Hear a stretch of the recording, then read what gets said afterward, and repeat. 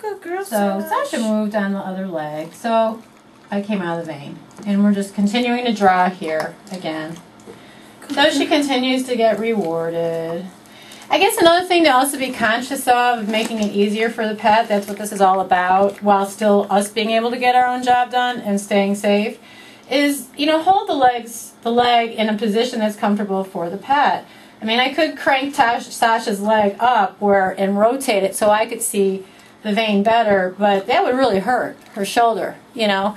And I think when we are not conscious of how we're positioning the animal's body, it can add to sometimes pain or stress in doing these exams, and the small differences make a big difference. So I've kind of learned how to tip my head down and, uh, you know, get the job done, and my staff has as well. Uh, and avoid like rotating and cranking like that on a on a arm that could put pain over the elbow or pain over the shoulder. Something really also for us to be very aware of in our aging pets. Yes, you did. You're a good girl. I like you. All right, baby. And this is gonna, this is gonna tell us what's wrong with you, Yeah. so that you won't get all these little skin lesions.